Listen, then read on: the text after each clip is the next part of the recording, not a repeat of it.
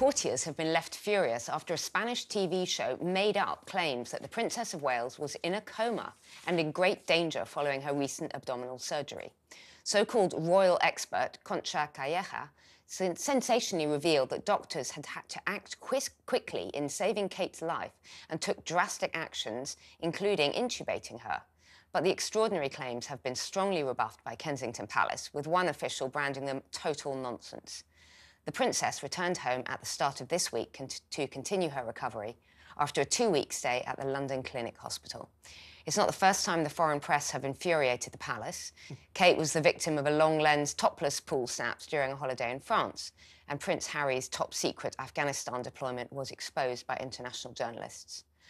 Well, frankly, I think this um, Spanish journalist should be stripped of her media accreditation, and I think that the Fiesta, the Spanish channel, should be issuing a formal apology to Kate and her family. What are they going to invent next? That she's dead? I think this is really, really disgusting. Uh, it's clear that it was a pretty serious operation, whatever it was, that she had a long stay in hospital. Mm. She wasn't seen leaving the hospital. I think it's more serious than Kensington Palace have have um, have revealed, and that's absolutely. I think her privacy should be respected, um, but I think this is despicable and really malicious piece of clickbait. Uh, obviously, the foreign press have different rules to we to, to what we yeah. have. But I think that they, you know, that this woman shouldn't be a journalist. Yeah, but then, then again, you know, as you quite rightly said, the palace tried to sort of lead us down the path it's fairly sort of uh, you know normal, nothing to get worked up about. And they, then they, in that same statement, we all remember. I remember when it broke, we were on air going, "Oh, she's having a bit, little bit of surgery, nothing much."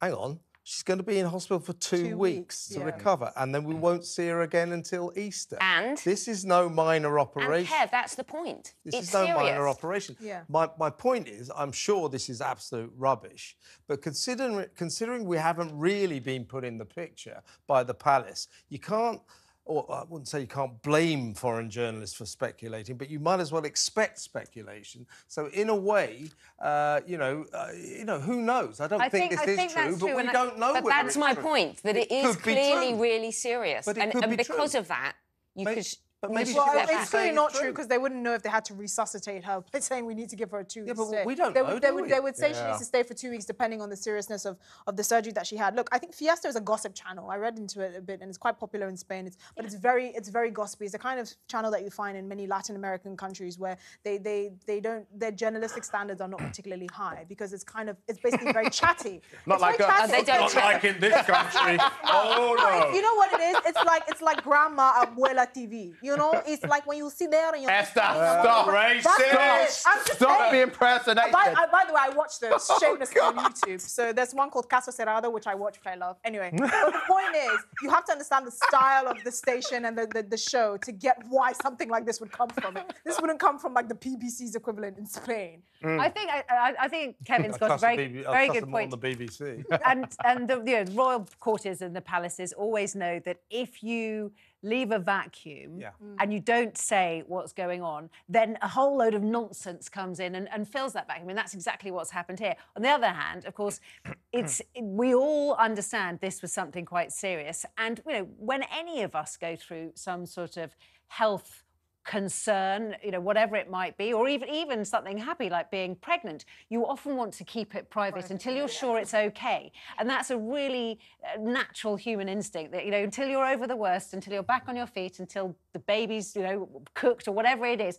you just want to keep those things quiet. And it's really difficult for so, the royals to do that. So you think in six months' time, Kate Middleton, sorry, Princess Kate, is going to come out and say what, what the surgery yes, about? Yes, I do. I do. That's oh, that's really? exactly what I think. I think when she and you know William and everyone else know that she's through it and and it's all a happy happy ending, mm -hmm. I think that is when she almost to my mind, I'm certain she will then say, "This is what I happened. I will now be an advocate for whatever you know, yeah. charity." So blah says, blah blah. Oh, uh, they, uh, they had to uh, put me into an induced coma then we're all going to look a bit stupid. Then we're all going to yeah. look a bit. Yeah. I mean, you know, uh, I mean, uh, this does sound to me to be a, a, bit beyond the pale, but we don't actually know what the truth is because we haven't been told the truth the is, and I understand that.